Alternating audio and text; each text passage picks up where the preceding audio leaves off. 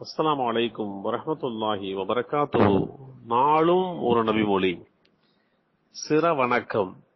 நபிகள் நாயகம் சல்லல்லாஹ் அலைஹி செல்லம் அவர்கள் ஓர் அடியார் சிறவணக்கம் செய்தால் அவருடன் ஏழு உறுப்புக்கள் சிறவணக்கம் செய்கின்றன. அவருடைய முகம் இரு உள்ளங்கைகள் இரு முழங்கால்கள் மற்றும் இரு பாதங்களின் நுனிகள் ஆகியவை அவை என்று குறிப்பிட்டார்கள். இந்த நபிமொழி அப்பாஸ் அலி அல்லாஹு அன்ஹு அவர்கள் மூலமாக அறிவிக்கப்பட்டு சஹீஹ் முஸ்லிம் என்ற நூலில் எட்டு நான்கு எட்டு என்ற எண்ணில் பதிவு செய்யப்பட்டுள்ளது. இந்த நபிமொழியிலே முகம் என்று பொதுப்படையாக நாயகம் ஸல்லல்லாஹு அலைஹி அவர்கள் கூறியிருக்கின்றார்கள். இன்னொரு நபிமொழியிலே ஸல்லல்லாஹு அலைஹி அவர்கள் நான் நெற்றி இரு உள்ளங்கைகள் இரு முழங்கால்கள் இரு பாதங்களின் நுனிகள் ஆகிய ஏழு உறுப்புகள் தரையில் படுமாறு சஜிதா செய்யும்படி கட்டளையிடப்பட்டுள்ளேன் என்று. முகம் என்றால் நெற்றியை குறிக்கும் என்று தெளிவுபடுத்தியிருக்கின்றார்கள். பொதுவாக சிரவணக்கம் செய்கின்ற போது நெற்றி தரையில் பட வேண்டும். அதோடு சேர்ந்து மூக்கும் தரையில் பட வேண்டும் என்பதுதான் சஜிதாவினுடைய ஒழுங்கு நெறிகள். சஜிதாவுடைய ஒழுக்க முறைகளை இந்த நபிமொழி நமக்கு எடுத்துச் சொல்கின்றது. மேலே சொன்ன ஏழு உறுப்புகள் தரையில் பட வேண்டும்.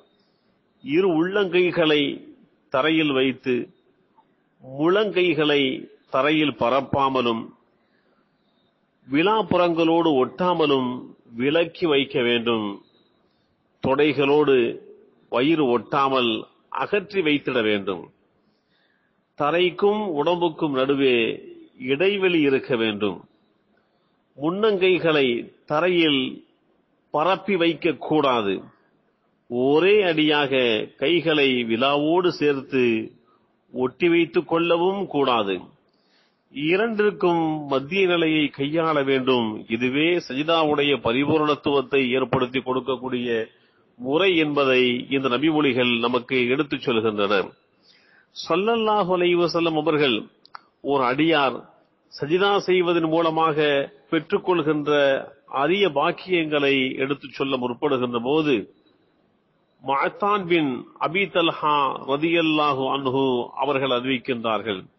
நான் நபிகள் நாயகம் சல்லல்லாஹ் அலைவ செல்லம் அவர்களால் விடுதலை செய்யப்பட்ட அடிமையான சஃப்வான் அலியல்லாஹு அன்ஹு அவர்களை சந்தித்து என்னால் செய்ய முடிந்த ஒரு நற்செயலை அல்லது அல்லாவிற்கு மிகவும் விருப்பமான ஒரு நற்செயலை எனக்கு சொல்லுங்கள் என்று நான் கேட்டபோது அல்லாஹ் அந்த செயல் மூலமாக என்னை சொர்க்கத்திற்குள் நுழைவிக்க வேண்டும் என்கின்ற விருப்பத்தையும் சஃப்வான் அலி அல்லாஹு அன்ஹு அவர்களிடம் நான் தெரியப்படுத்திய போது சஃப்வான் அலி அல்லாஹோனா அவர்கள் சற்று அமைதியாக இருந்துவிட்டு நாயகம் சல்லல்லாஹ் அலைஹி வஸல்லம் அவர்கள் அல்லாவிற்கு நீ அதிகமாக சிரவணக்கம் செய்வாயாக?